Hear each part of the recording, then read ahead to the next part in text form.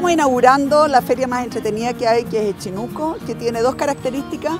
Uno, que son pequeños productores, pequeños productores gastronómicos, pequeños artesanos, pequeños agricultores, etc.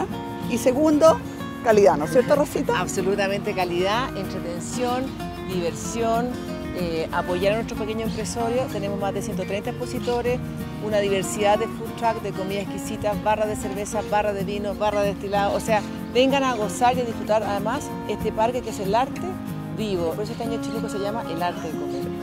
Y la verdad es que lo van a pasar estupendo y además van a poder comprar regalos de Navidad que van a ser distintos. No va a ser la típica cosa, ¿no es cierto?, de un mall, sino que algo hecho con cariño para alguien que usted quiere. Lo va a pasar fantástico, vengan, viene sábado y domingo.